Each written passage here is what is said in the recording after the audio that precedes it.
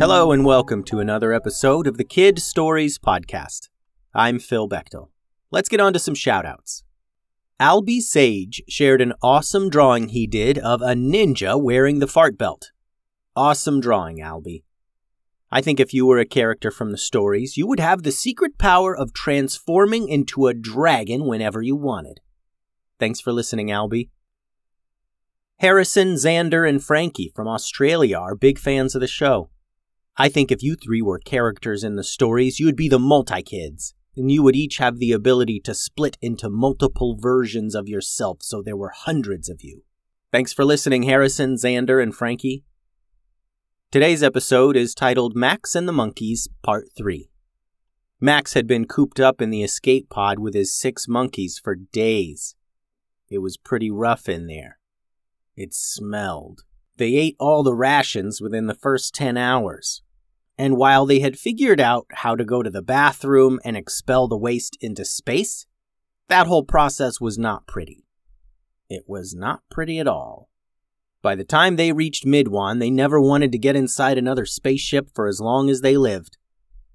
Max brought up the view screen in the escape pod, and four monkey fingers reached out to start touching it. No touching the screen, snapped Max. You can't do anything when everyone touches the screen at the same time. We talked about this. Max scanned a 3D map of Midwan and zoomed in on Elder Tree, a forest that Blackwell mentioned before Max and the monkeys took off in Glaw's ship. Okay, there, said Max, zooming in further on a medium sized building near the edge of the forest. Professor Blackwell said he was going to set up his laboratory on the edge of Elder Tree. Based on the size of this building and the other buildings, I think that has to be it. Max set the coordinates and the escape pod rattled as it descended down to the planet. The pod landed near a plain looking building and a beautiful looking forest. Someone ran from the building, wondering about all the noise. It was Blackwell. He couldn't see who was in the pod just yet, but when it opened, the monkeys all screeched and went wild, running into the forest. They had been cooped up in that escape pod for days, and they were dying to run around, find some food, and climb some trees. Professor Blackwell was shocked. He adjusted his glasses as Max stepped out of the pod. Max! he yelled. Professor Blackwell ran and wrapped Max up in the biggest hug of his life. Max, I thought, I, th- I thought you were. Professor Blackwell stuttered as he remembered getting the information through news channels that Glaw's stolen ship, along with the security bots, had all been destroyed out in space, not far from Flora Prime. Professor Blackwell assumed then that Max and the monkeys had all been destroyed as well. We barely made it out, said Max. Let's go into the laboratory and I can tell you all about it. Max, before we go in there, there there's something I need to tell you, said the professor. You stink. You stink so, so bad. You smell like, and I mean this in the most scientific and realistic way possible, you smell like a monkey's butt.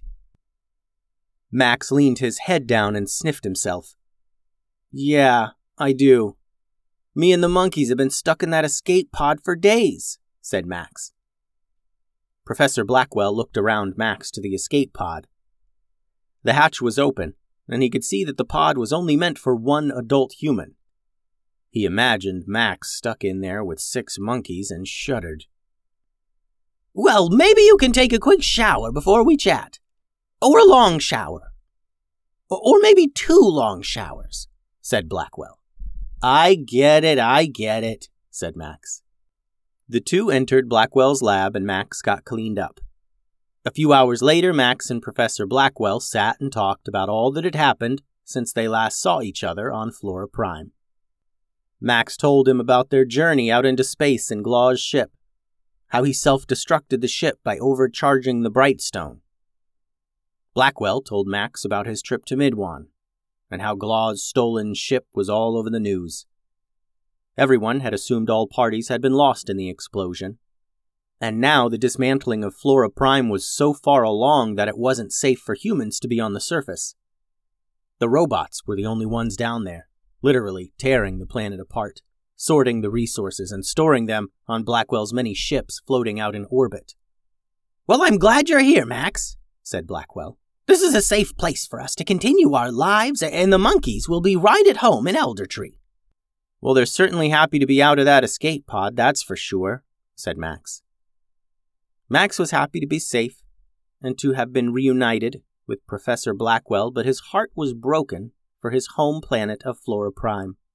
It was difficult for him to imagine all the animals and plants being destroyed just to make money for Glaw.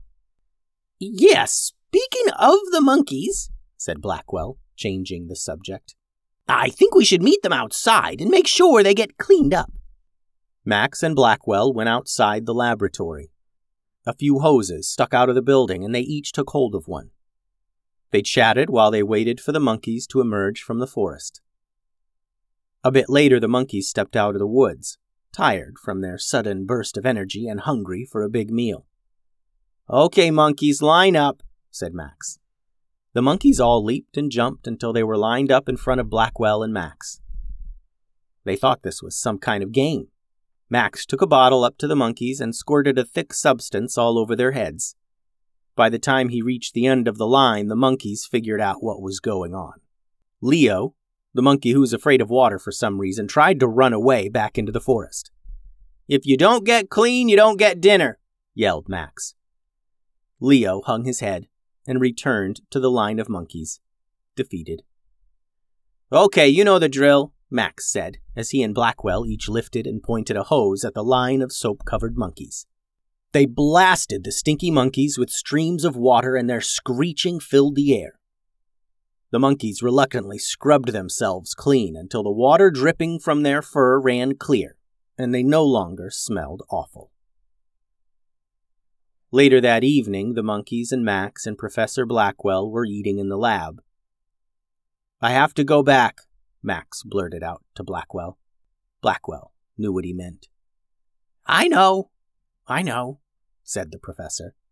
I don't want you to go back and fight Glaw, but he destroyed your planet. He destroyed your home. I know you won't be satisfied until you at least try. And lucky for you, I've already started planning something. Professor Blackwell got up and led Max over to a corner of the lab hidden behind a curtain. He pulled the curtain back to reveal security bots, just like the ones that Glaw sent to get Max. Max stepped back. Where, where, where did you get these? I made them, said Blackwell. When I got the news that you. Well, when I thought that you and the monkeys were gone, I started my own plan for revenge. I got schematics for his security bots and some of his ships. I was planning on making a bunch of security bots that were under my control to fly back to his ships and set them to self destruct. Max was amazed. He thought about the plan about the Secbots boarding one of Glaw's ships and blowing up.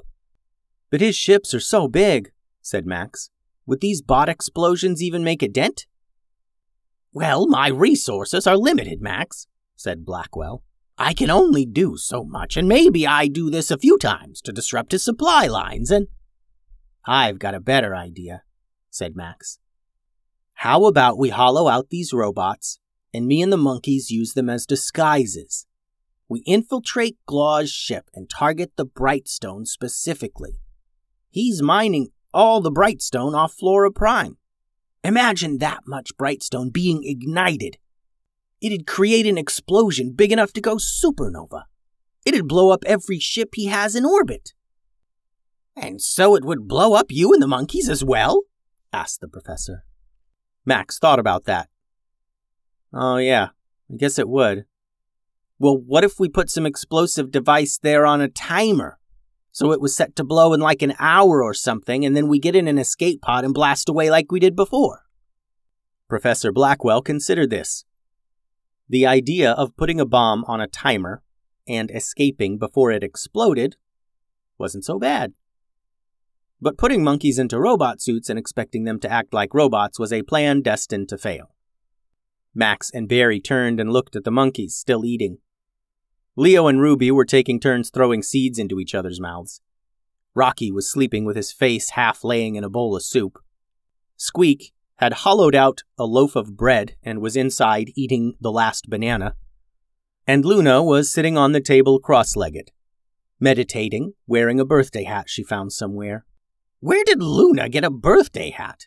asked the professor. I never know, Professor, said Max. They left the monkeys to their silliness and turned to the bots that the professor had built so far. There's a good plan here somewhere, said Max. Let's figure out what it is and put an end to Glaw's operation. Professor Blackwell nodded, and the two got to work. The end. The website is kidstoriespodcast.com. Send all your drawings and things to kidstoriespodcast at gmail.com. Adios.